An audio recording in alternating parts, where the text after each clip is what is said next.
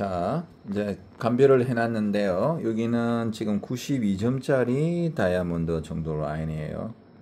일단 이제 옐로도 있고 핑크도 있는데 아주 질이 좋은 상품에 해당돼. 이런 거는 이제 커팅에는 엄청 이쁩니다.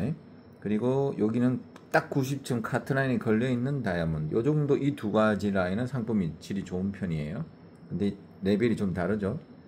지금 눈으로 보는 거랑 카메라 보는 거 완전 달라요 색감이. 눈으로 보는 건 엄청 질이 좋아요. 그 다음에 여기 있는 거는 한 85에서 80점 아 저 90점 사이. 그 다음에 얘는 한 80에서 85점 사이. 얘는 75에서 한 80점 사이. 얘는 70점 넘은 러프 다이아 75점 사이 있는 거고 요거는 이제 조금 밑에 있는 하품 다이아들이에요 자, 이까지는 다야입니다. 그래도.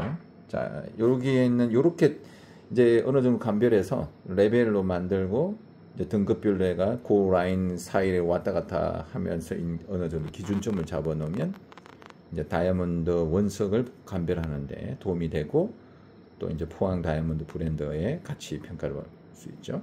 자, 오른쪽은 다이아가 아니에요.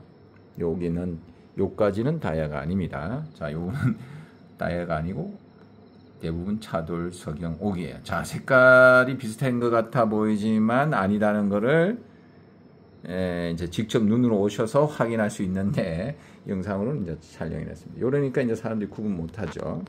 혼자서는 절대 압니다. 구분하기 힘듭니다. 네, 그래도 이제 맑고 순수한 눈을 가졌기 때문에 이제 공부하고 찾고 계속 에, 저한테 와서 묻고 배우고 해가 또 현장에 가서 확인하고 또 감별해 주니까 이렇게 아주 거의 뭐 준 프로컵으로 이제 올라오셨네요. 네, 수고하셨습니다. 이상 포항 오도리 해수욕장의 다이몬드 카페, 광해보수 갤러리 카페, 광해보수 감정원 앵두금 승분부 숙소 대표 박현철이었습니다.